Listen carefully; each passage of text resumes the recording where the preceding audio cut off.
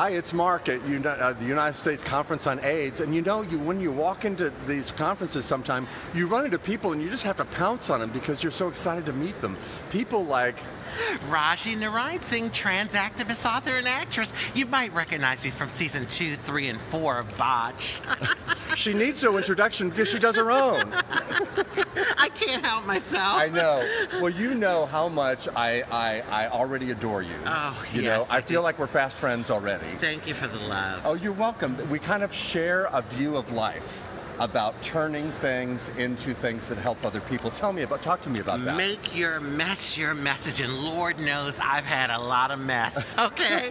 but yes, I think I was saying how like it's such a blessing to be able to take something that was at one time I felt could have been my demise and have it be so many wonderful blessings. Use it to advocate, educate, and do my activism. And I feel the same way about living with HIV and about being a drug addict in recovery. I have to be transparent about that because I know there's somebody out there that might benefit from hearing about it and hearing about coming out the other side and, and having pride and, and, and uh, feeling good about myself. Exactly, because it's like seeing someone like you, meeting someone like you, connecting with someone like you is such a blessing. Long term survivor, okay? Yeah. And so many people lost their lives. We stand on the shoulders of so many. But when I meet someone like this adorable long term survivor, mm, I just get so happy Yeah. because we've been through so much and we've come so far, but we still have a long way to go. Well, and I like sticking around. I like sticking around at conferences like this and being involved in the fight because first of all, I I do it for a lot of people who aren't here that I that were friends of mine. And I do it because HIV is still so fascinating and it's social justice. It's social justice for trans people. It it's social really justice is. for LGBT people, for, for sex workers, for people uh, who are addicted to drugs. It is, it is. I say, if you see me in the supermarket, if you see me at the post office, that's an act of activism. Just Yeah. me being present, Uh-huh. living my life as my authentic self, that alone is activism. Now, you know, a lot of us probably were first familiar with Rajee, not from her 20 years of working as a trans activist. Maybe we didn't know that about that, but we saw her on Botched. You did. On how many seasons now? Uh, seasons two, three, and four. Okay. you just go Google them right now, watch them on streaming because she's amazing. Because your heart shines through.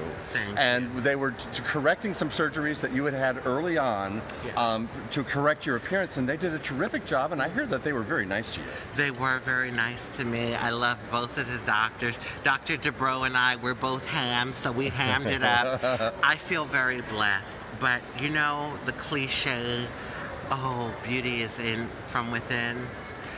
And I say it because it sounds so cliche, but it's so mm-hmm. true. Yeah. I was forced to live it. I had to walk around for 10 years with a very disfigured face. Mm-hmm. And I had to believe that I had, still had some beauty in my inside, you know, to share with the world and to, to be here and that I was here for a reason. So mm-hmm. I had to live that. And um, I just feel like we all, you know, are here for a reason. Like you right now and me right now meeting in this Yeah. moment. Mm-hmm. This uh, this in itself is just mm-hmm. amazing. You know.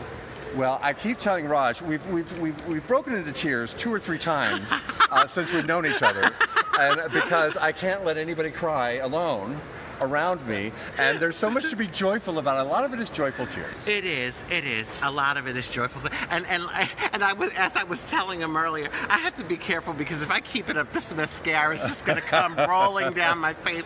And Lord knows I love my makeup. If anyone that knows Rajee knows how much I love makeup. But um, yeah, no, there there are they are tears of joy because I oftentimes I have to pinch myself. I can't believe I'm still here. Yeah. I mean, going through all of the discrimination that trans people go through, that alone, then on top of it, you know, dealing with my black market injections and Yes. all of the medical stuff that I, I've had to deal with that. So, yeah, I have to sometimes pinch myself and say, my God, I'm still here. And- And of course, we are here at Yeah. United States Conference on AIDS, Um, and one of your messages is that 48% Yes. of trans women in their lifetime That's right. may test HIV positive. That's right. And that's why I am here. Like when I was asked to come, Mm-hmm. my thing was listen, I have to step it up for my trans community. 48% of transgender women in their lifetime will test positive for HIV. And the only way that it's going to truly be eradicated is if our community rallies together, number one, and if the agencies really focus on the trans community. So, um, yeah, it's so important, and that's why my core reason for being here, and of course, to be here and meet fabulous people like you. you know, I um, I don't know. I I was sharing with you earlier about my friend Ronald Allen. Yeah. Um, you know, 1985, 21 years old. Um, you know, went away to school, beautiful dancer. He was so talented.